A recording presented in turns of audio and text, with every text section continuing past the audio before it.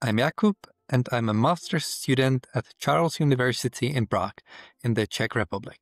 I specialize in discrete models and algorithms. But today, I'm here to share my experience being a Google Summer of Code contributor with Learning Equality. It is really hard to choose a mentoring organization from the list. What was perhaps the deciding factor for me was that I strongly resonated with Learning Equality's mission. I think that quality education can be a life changer for people struggling to get out of poverty. And I was also really impressed by their approach of working closely with educators actually using Kolibri and listening to their needs. My project was focused on implementing a community library feature inside Kolibri. Kolibri has a huge library of channels with educational content, but their structure is often not really suitable for them being used directly in an education program. Instead, you frequently need to compose the available resources to create your own set of channels which more closely follows the needs of learners in your country.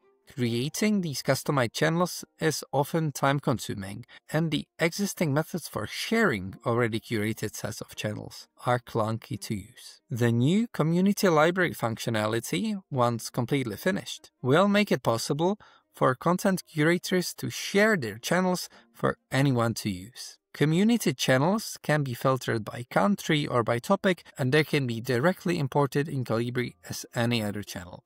This should be a huge win for new individuals or organizations looking to start using Kolibri because they'll already have a range of channels marked by peers suitable for their country. I guess the most exciting thing for me was that I knew that what I was working on would eventually end up in Kolibri. And it was really a great feeling to know that my work might actually make a difference somewhere in the real world. One thing that was challenging for me was that I didn't have too much experience with the specific technologies that were involved. But I believe that I was able to learn what I needed, and it has actually been a great opportunity for me to apply these newly acquired skills in a real world environment. I'm really, really grateful for the mentors who are helping me navigate the project.